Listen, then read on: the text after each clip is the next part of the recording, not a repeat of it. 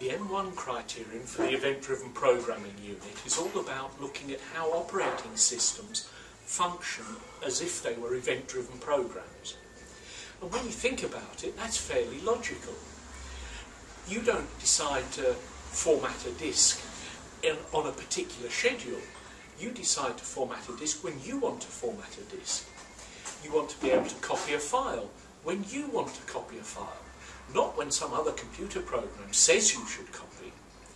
So this criterion asks you to hark back to P1, the key factors that make something an event-driven programming language, and compare those factors to what operating systems actually do. Now, which operating systems you use, that's entirely up to you. But that's what we're trying to do here.